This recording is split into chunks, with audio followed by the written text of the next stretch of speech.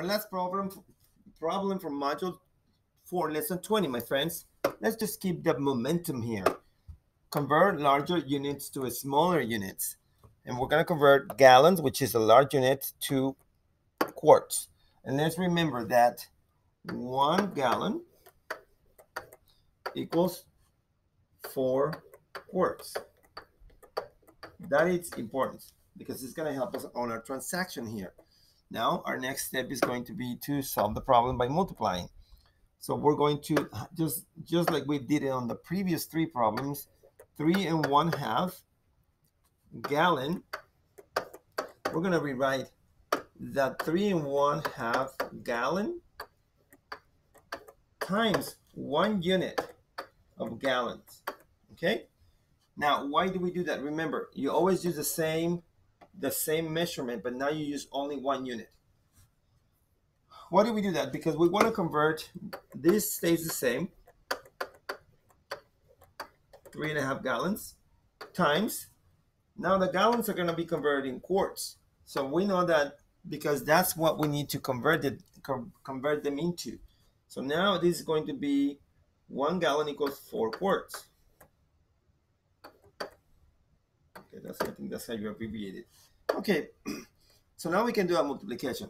But again, just like I did it on the previous problem, we're going to convert this mixed number into an improper fraction. So 3 and 1 half, it's going to be converted to an improper fraction in this manner. Multiply the 2 times the 3 plus the 1. So let's write that down. So 2, here's the way the arrow goes, times 3 plus 1 over the denominator, which is 2. The total of this is 2 times 3 equals 6, plus the 1 equals 7 halves. Now we can replace 3 one and 1 half gallons into 7 half gallons times 4 quarts. Uh, let me I think it's, uh, how do you spell that? QT. Okay, so erase that. This is QT.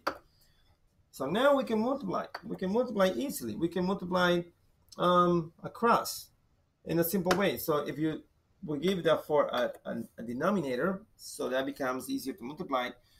Uh, let's see, can we simplify something here? Yes, we can simplify the 2. The 2 can be divided by 2 and the numerator 4 can be divided by 2. That makes it so much, so much easier. 7 stays the same. The 2 divided by 2 equals 1. That's gallons. Times 4 divided by 2 equals 2. And 1 stays the same. And that's quarts. And when we multiply across is 7 times 2 equals 14. And 1 times 1 equals 1. So now you know that, um, oh, he didn't come back. Come back, my friend, let's go.